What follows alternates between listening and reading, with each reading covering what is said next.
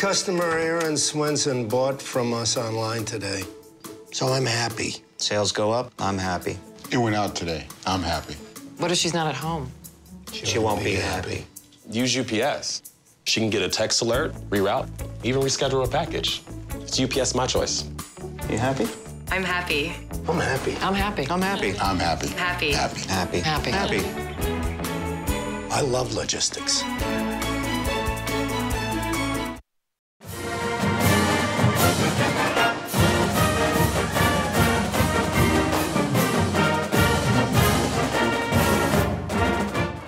Well, I think you know the the key line in the game is 41 rebounds to 30 rebounds because uh, we felt like that their their best chance to win was to beat us up on the second shots and utilize that plus eight rebounding margin that they they have. But we didn't shoot the ball particularly well the first half.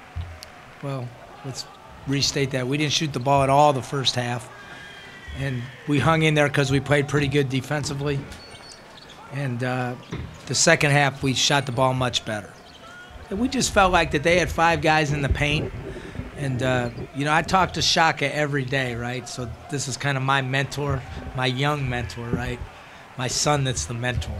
And he said, you, need, you know, you need to spend time with Brian Walsh. He's a talented guy, you know. And so I just had that feeling that, you know, we could ride him.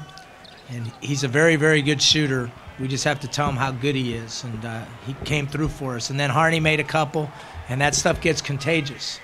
But they had it packed in pretty good, so we had to make some from out there. I would say it was the best. I think Pat's been consistently pretty good all season. I, I do think both of those guys have improved on a daily basis because uh, they play against each other every day.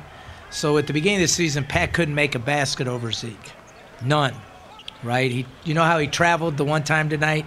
He used to do that like 16 times a day, right? But now he's shown the ability to get Zeke down in low, crab him down in, use his footwork. So both of those guys have benefited from one another, and they, they hardly ever play together in practice, so they play against each other. So you can see them really developing. Well, I like it.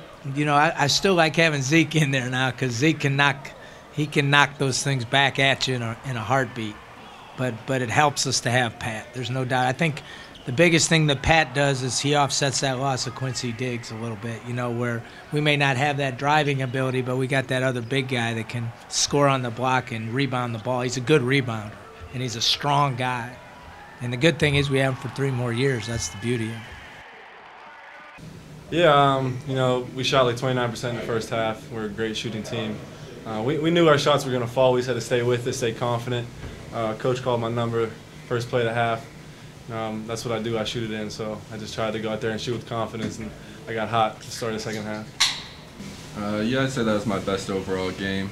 Uh, Zeke got in foul trouble early, so I kind of had to come in and step up and help the team out.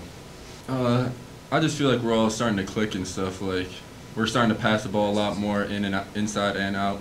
So once that starts happening, the double teams can't come, and if they do, then we kick it out and just everything just starts to develop. So it's a lot easier.